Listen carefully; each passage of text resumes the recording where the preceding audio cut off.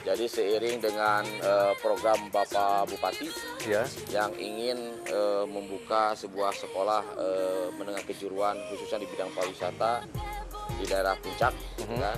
Dan kebetulan eh, salah satu alasan beliau atau kebijakan beliau ya di daerah Puncak ini banyak eh, pelaku usaha eh, khususnya di bidang pariwisata dari mulai hotel dan restoran, Mhm. tetapi SDM-nya yang kurang. Ah, ini Nah. SDM-nya yang kurang. Gitu.